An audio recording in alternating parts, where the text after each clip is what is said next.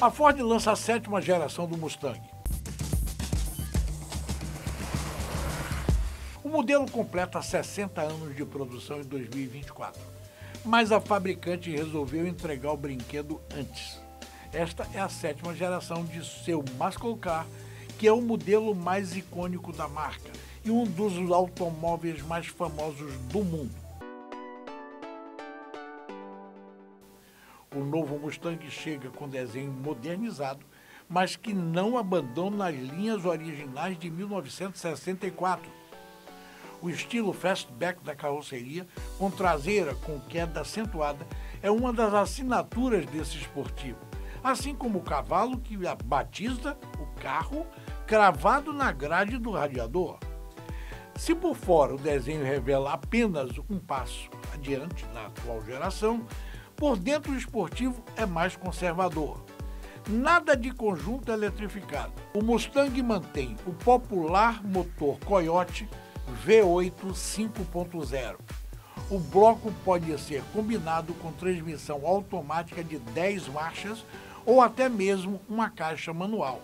Ainda na linha, a Ford mantém e oferece a unidade EcoBoost 2.3. Os números de potência e torque não foram divulgados, mas esperado que o V8 entregue 470 cavalos e 4 cilindros, algo em torno de 310 cavalos, já que passaram por melhorias. Por dentro, no entanto, tudo é novo. O Mustang ganhou novo painel com uma tela gigante que anexa quadros de instrumentos e multimídia. Trata-se de uma tendência da indústria.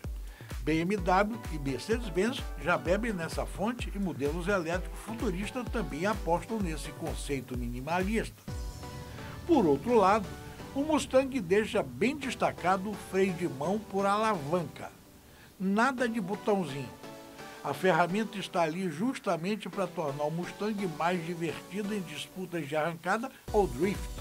O modelo ainda conta com rodas de 19 polegadas, enormes discos de 390 milímetros na frente e 355 milímetros atrás, assim como suspensão independente e amortecedores com ajuste magnético de carga.